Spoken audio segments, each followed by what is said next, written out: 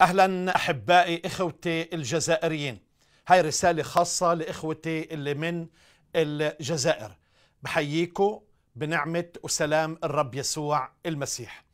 أول شيء بحب أشكر الرب من أجل الكنيسة في الجزائر من أجل الإخوة والأخوات من أجل المؤمنين اللي بيعملوا بجد وكد وفعلا آه، شجعان وعم بيقوموا في عمل الرب بكل جبروت بدون خوف وبدون أي تراجع.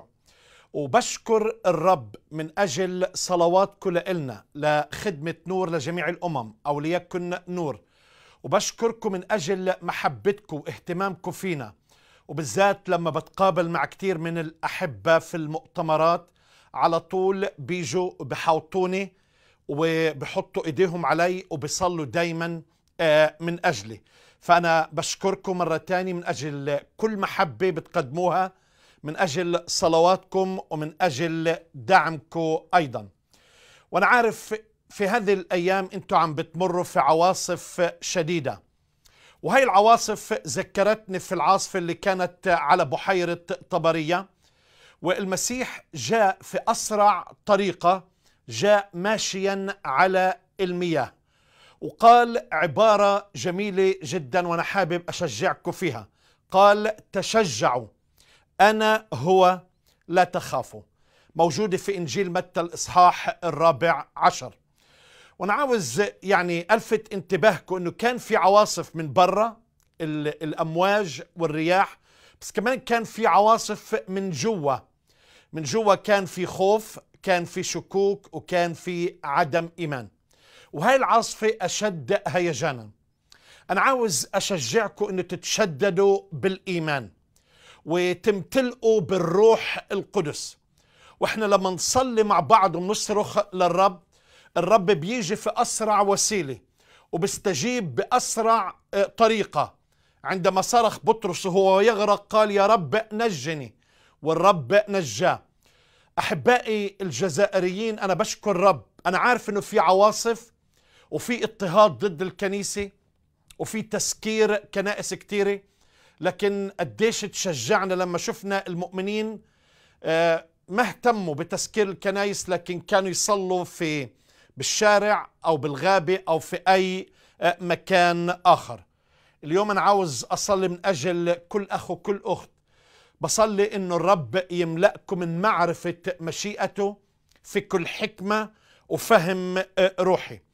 أنا بصلي اليوم الرب يعطيكم سلطان إلهي بمد يده بآيات ومعجزات ولا سيما في هذه الأيام. بصلي كمان الرب يعطي إحسان ومعروف اولا في عينين الرب في عينين السلطات وأيضا في عينين الناس اللي بتخدموا معهم. صدقوني الرب بيعطي إحسان وبيعطي معروف. وكمان أنا بصلي هيك الرب يفك كل الأمور ولا سيما يكون في حرية حرية إنه نعبر عن رأينا حرية إنه نختار الدين أو نختار الإيمان اللي إحنا بدنا إياه. وبصلي كمان كمجموعة أحبائي إنه نمتلئ من محبة الرب وإنه نزداد بالإيمان ونمتلئ من معرفة الرب. وأنا أؤمن أحبائي إنه إحنا جسد واحد بغض النظر المسافات الجغرافية. لكن روح الله القدوس لا تحد أي مسافات. وأنا بحب أذكركم إنه إحنا واحد في المسيح. وسواء كان اضطهاد جسدي أو اضطهاد فكري أو مقاومة سواء روح ضد المسيح اللي عم تنتشر في هذه الأيام إحنا جسد واحد بنعمل لمجد الرب يسوع المسيح. فأنا بصلي إنه مثل ما بقول الكتاب إن اتفق اثنان منكما على أي شيء في الأرض يكون لكما.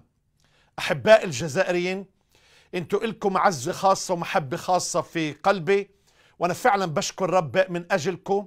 أنتوا أبطال بالإيمان وأنتوا تشجيع إلنا وتشجيع كتير لمؤمنين الخايفين أو مترددين إنه حتى يشاركوا أو يشهدوا عن يسوع آه، المسيح.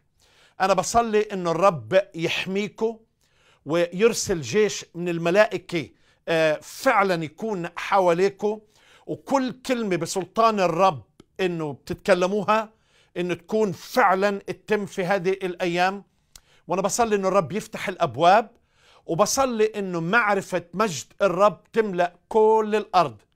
في يوم من الأيام الجزائر شمال أفريقيا جاء منها أبطال كثيرون منهم آباء الكنيسة وأبطال اللي كانوا في المجامع الكنسية اللي وقفوا من أجل الإيمان المسيحي ودافعوا عن الإيمان المسيحي. والمسيحية التي كانت منتشرة في شمال أفريقيا الرب ما بينسى أي شخص الرب بيعوض أضعاف وأنا بصلي في اسم الرب يسوع إنه هذه الأيام تكون أيام افتقاد وأيام انتعاش وهيك الرب يزور شمال أفريقيا زيارة خاصة ويستخدم الجزائريين بقوة الروح القدس. كل مشاهدينا وكل اللي بيخدموا معنا بحب أقول لكم إنه بحبوكم وبيصلوا من أجلكم. إحنا واحد في المسيح يسوع. ربنا يبارككم.